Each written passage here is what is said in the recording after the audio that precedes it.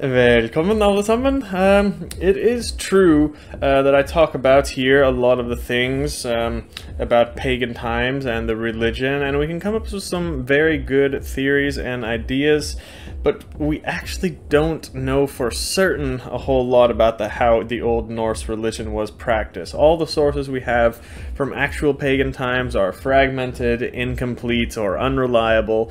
So from the oldest sources we have, there is actually very little we can say for certain. But if we fast forward in time a little bit and look at some other sources, we can find a lot more reliable and good answers. When Christianity came in and basically made it illegal to practice our native religion, they recorded some laws forbidding some of our most important things that uh, the pagans did. Uh, the funny part is that they created these laws in order to persecute pagans and put an end to the existence of our native religion and traditions, but by doing so, they actually wrote it down, so we have it here a thousand years later, enabling us to bring it back to life now. So that's what I'm going to be talking about in this video, all the sources and laws we have describing pagan practice so we can make use of these things today.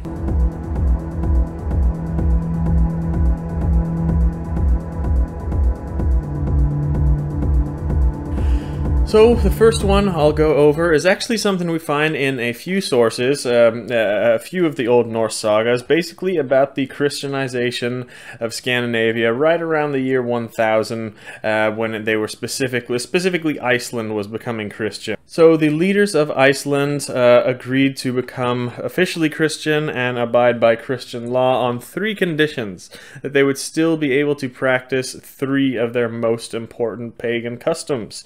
Uh, that they just weren't willing to give up. The first one is that people would be allowed to practice their blots in private.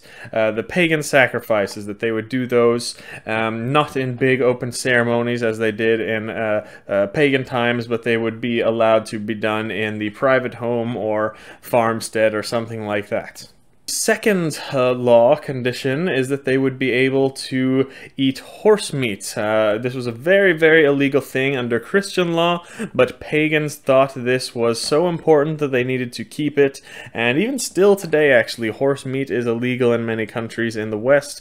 I think Netherlands and France, that's where I've had it before, that's allowed, but um, uh, I think you can have it in other countries. But who knows the original uh, importance of eating horse meat? It could be something spiritual or it could just be for some good health, uh, mental and physical or something like that that the Christians didn't want the pagans to do.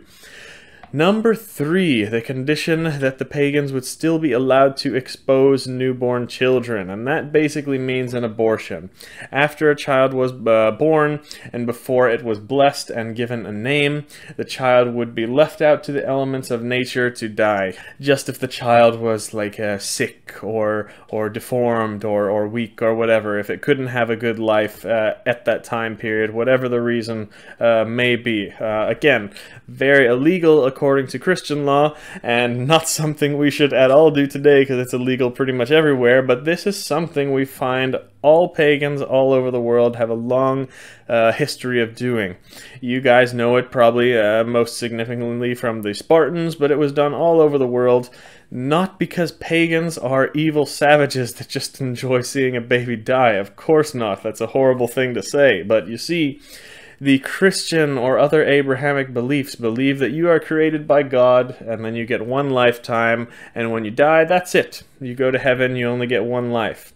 Most pagan cultures believe in reincarnation or the eternal reborn soul of some sort. Uh, so when the Norse left their child out, it could be viewed as, you know, a spiritual, um, almost an act of compassion, actually. Like, hey, this is one of our beloved ancestors who was born in this uh, uh, body here, but it's sick or deformed or, or something is wrong with the body or crippled or something. Like, some that, that soul is not going to have a good life. So instead of making it suffer through that life, life. And again, back then it would have been very hard if you had some deformities like that. Instead of letting it suffer through that life, they lay it out, let that soul pass back into the spirit world, and give it another chance to be reborn into a strong, healthy body. I'm not saying I agree with all this. I'm not saying I believe in it, but people just need to realize that this is a matter of individual religious belief, right? In the Christian beliefs, it's abortion and it's baby killing, but just realize that there are many other religions in the world other than the uh, monotheistic ones who have a different belief of the soul and afterlife. So that's an entirely different question uh, and an aspect of ethics around those things. That's what a lot of people fail to understand when arguing this issue today. So I don't have the answer. I don't have any beliefs on that, but I do respect uh, all people's sides and and their beliefs uh, and whatever their religion says is uh, the right thing to do. Next source, we have three law codes from Norway and Iceland um, in the 1300s, and that lists the punishment of outlawry for things like murder, witchcraft, soothsaying journeys, uh, like trips to gain wisdom um, of the future, like I'll speak about in just a minute, and also it prohibits sitting out at night to awaken trolls and promote heathendom. You guys know what that is. That's utiseta, when you uh, sit out at night uh, for some spiritual purposes. I've done lots of videos on that you can check out. Another law is called the Äldre Västgötalagen from Sweden. And here we have one that speaks about uh, the words that can be considered slander if you were basically accusing someone of witchcraft or being pagan. If you said these things about a woman and they were not true, then you could actually be punished for slander for calling her a pagan. So it basically speaks about the pagan act of cursing another woman and engaging in witchcraft or other pagan practice in here. And specifically in this law code, it mentions sitting on a gate with your hair loose. So this was actually a ritual where they would sit on a gate either at the sunset or sunrise or perhaps the equinox and then they would sit on a gate and get themselves into a trance-like state. And the idea here is that here in our realm, we sit on the gate in order for our spirit or hugid to travel into uh, the border or gate between other realms and dimensions, not traveling into other realms, but just sitting on the border to get a glimpse into others. It's a perfect example of sympathetic magic, as I have spoken about in other videos, so that's a great place for us today to try some meditation if you have a gate that is, you know, comfortable to sit on. Uh, another one, the Grågås laws of Norway, they call upon people to trust in God and his saints and to not worship heathen spirits, and if someone practices or pays someone to practice witchcraft, sorcery, or magic, then they would receive the punishment of lesser outlawry. Uh, also, they would uh, receive the punishment of lesser outlawry if they endowed stones with power or other superstitions like this, that would be punishable. And on the opposite of that, you would be sentenced to full outlawry if you used any of these types of magic to cause harm to animals or humans. So it's definitely varying degrees of seriousness for those crimes. And next one is something called the Gulating uh, laws. Uh, now these are actually the oldest ones we have, but they were amended in the late 13th century. Um, first of all, it's uh, prohibiting uh, practicing soothsaying or fortune telling, among other forms of witchcraft in there. But also, when King Magnus made these amendments to the laws in the 13th century, it obliges people to believe in the faith that we have pledged to God, as it says, and it calls upon the king and bishop uh, that they must take great care to ensure that people don't engage in heresy and heathen beliefs. Uh, these beliefs and practices include things such as galdir, it lists, so like charms, uh, incantations, uh, any types of witchcraft, um, what they call uh, riding trolls. Um, we think that's some sort of meditation or spiritual work or astral travel, something like that. It prohibits prophecy, and it prohibits believing in spirits uh, living in the the land, the mounds, or the waterfalls. Uh, and also in here it prohibits uh, utiseta again, uh, and that was used to tell the future, become knowledgeable or wise, or search for treasure or awaken ghosts or draugr or haugbui, the uh, spirits living in the mound. So long list of things there that we can all try out today. Another one is called King Sverrir's Kristenret from a bit later on in time, and in here it copied most of the things that I just mentioned in the Gulating uh, laws, but it also prohibits in here raising a pole for charm purposes. Uh, we could include the Nidstang in there, or maybe even the Maypole, but in this law code it's specifically called a Skuldstang, uh, the skulled pole, basically. And it also prohibits in this law code uh, idols or statues of heathen uh, spirits and sacrificing to the gods and spirits and cairns and mounds. So that's awesome. Lots of cool things there. We can keep statues of the gods, and we can um, uh, place our offerings at the cairns and mounds, which you guys have seen me do in my videos. Um, that's my favorite place to do it, actually. Another one is called the uh, Frostatingslov. Um, if a man sacrifices to heathen gods or practices soothsaying or sorcery, or if a man gives credence to such a one or harbors him for such purposes, he shall be outlawed like a bainsman, and the bishop shall have his property to the last penny. So here you can see it was equally punishable whether you were a practicing pagan or sorcerer or if you just hired one or even just invited one over to your house, you would be punished just as bad. Um, another one called Borgartingslov. Um, uh, this one actually has a great list of things that were considered heathen and illegal. Sitting out at night, uh, utiseta, you know that already. It also prohibits something called finfur, which was making trips. It was kind of like vacations that were taken to uh, Finland or uh, Finnmark in the north of Norway to consult with the Sami there to have them tell about your future. Uh, there's a long history of the Norse traveling to see uh, a Sami spiritual leader to get some uh, magic or divination or other spiritual help from them. Another illegal practice here is mentioned um, a woman biting off a finger or toe of her child in order to secure longevity.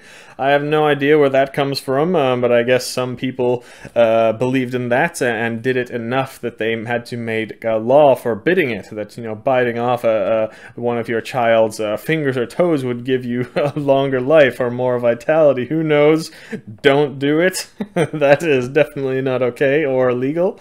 Um, another one in here, it makes it illegal to to raise the child as a heathen or pagan. The final part of this law goes over a list of pagan or witchy type items that you were prohibited to have, uh, keeping it in your bed or pillow. Those things include human hair, frog's feet, nails, or other things recognized as sorcery that are not listed in these laws. So all very interesting. These are some really good um, origins and reasons for all these things that I'll have to go into in another video, but those are just some of the items that were associated with uh, paganism. Another one is a law code called the Eidsivatingslov um, from Uppland area of Norway, which was said to remain pagan for some of the longest, and these laws come from the 12th century, and here it prohibits a few items such as magic wands, heathen altars, puppets, which were like the Norse voodoo dolls made out of clay usually, or sometimes dough, and anything else that could be considered part of pagan practices, as it writes in that law. Another one called the Dalalogen from Sweden. It has another good list of items here that are considered pagan and illegal. Hair, nail clippings, also horns, which interestingly are all composed of the same material as most of you know. And another one from uh, Sweden basically accounts uh, for these same types of things, that if an individual was caught with horn or hair within the yard and gate, then they could be punished. Again, we see here the use of horn and hair um, and sitting on the gate, as I mentioned earlier. Um, final one that I'll give you for this video, a very late one actually, around the year 1500 in Sweden.